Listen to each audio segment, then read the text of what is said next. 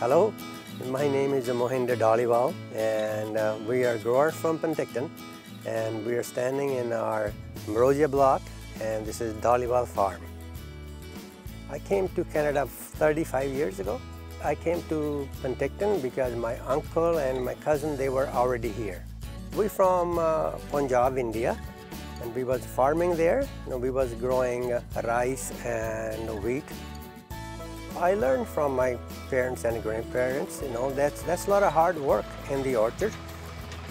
You know, they always farm, so we, we have that in the blood and we wanted to follow their footsteps, so we liked that farming, so we did it.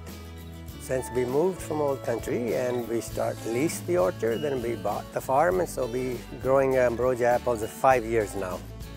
My parents and my brother, sister, they're here too. They're all farming, my wife is helping me on the farm with me too. I have three children, one boy and two girls. Boy in Vancouver, he's working there. And the girls are, are working in, in town, not in the farm. It's up to them if they want to take over the farm. We bought this orchard, the ambrosia was already planted and we, we knew before the ambrosia are really good kind apple. Everybody likes it, so we are very happy to grow this ambrosia here.